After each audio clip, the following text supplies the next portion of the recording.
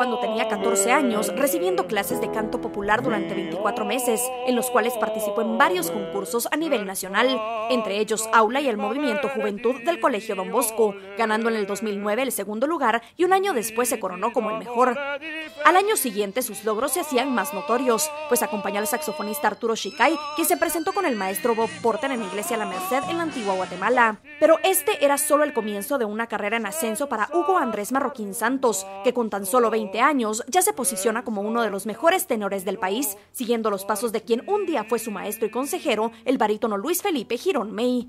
Cuando yo subo en escenario es un cambio total de, de mi ser, porque cada canción necesita una interpretación distinta y más que todo en la ópera uno tiene que sentir la canción para poder interpretarla tanto eh, como medio de expresión eh, como también vocalmente.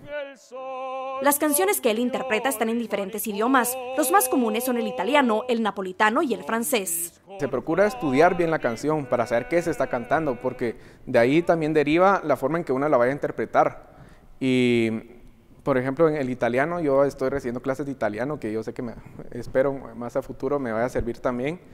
Y bueno, las canciones en francés, obviamente, digamos, mi maestra o mi maestro, que ya conocen la música, eh, no, me ayudan a, a comprenderla. Su maestra Gabriela Castro, concertista costarricense, es quien tiene a su cargo desde hace un par de meses la educación vocal de Andrés, preparándolo dos veces a la semana más de una hora, iniciando la clase con 10 minutos de vocalización. Esta es la parte en la que trabajamos técnica.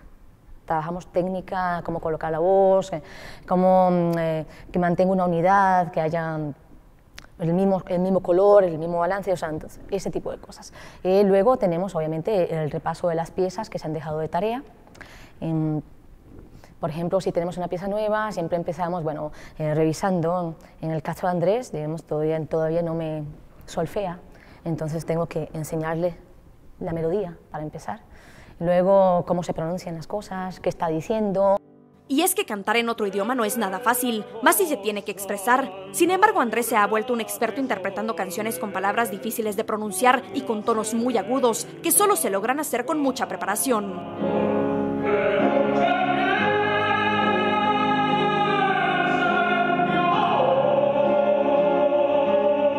Uno siempre tiene que estar en constante cuidado de la voz, porque era que no es su instrumento. Y, digamos, no se puede estar gritando o tomar cosas frías antes de un concierto, cuidarse mucho del frío, abrigarse bien, porque puede que a la hora de cantar esté un poco dañada la voz.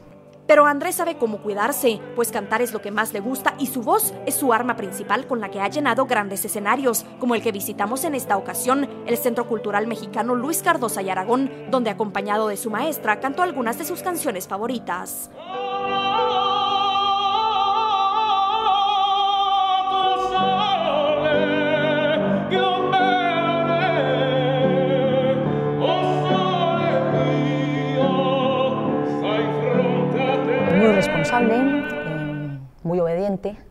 Atento a las indicaciones, es un gusto trabajar con él.